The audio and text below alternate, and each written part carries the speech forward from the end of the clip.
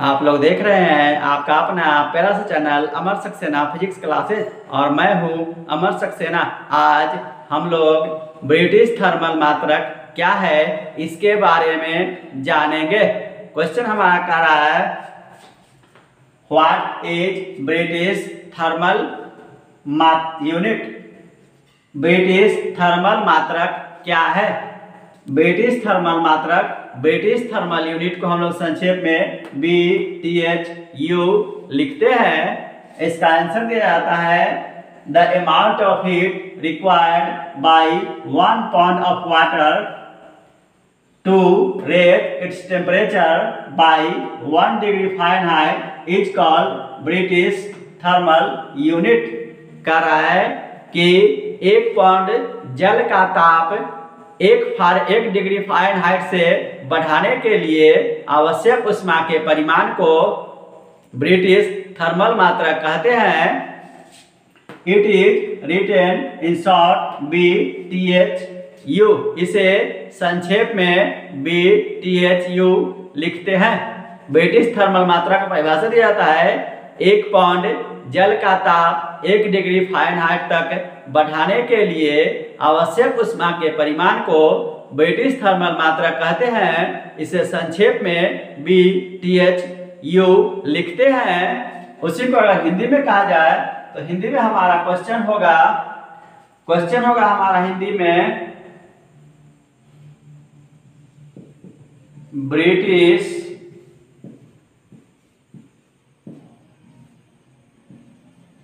Thermal मात्रक क्या है? हिंदी में हमारा क्वेश्चन होगा ब्रिटिश थर्मल मात्रक क्या है?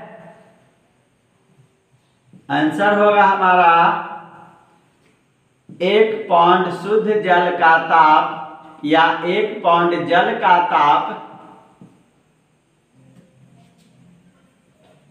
एक पाउंड जल का ताप एक डिग्री फारेनहाइट तक बढ़ाने के लिए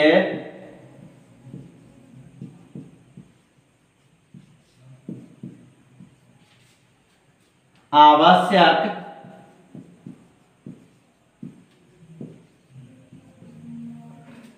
उष्मा के परिमाण को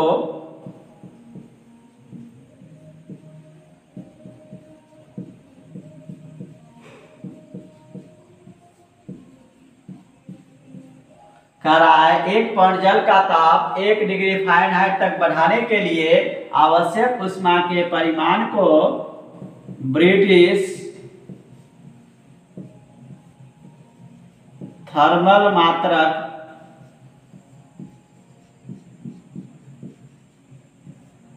कहते हैं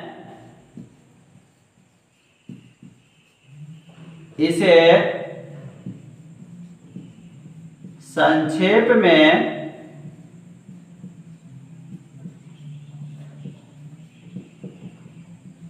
बी टी एच यू लिखते हैं।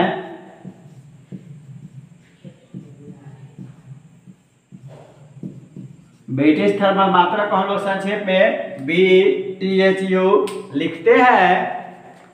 दोस्तों, अगर वीडियो अच्छा लगे लाइक करें सब्सक्राइब करें, अन्य दोस्तों के साथ शेयर करें।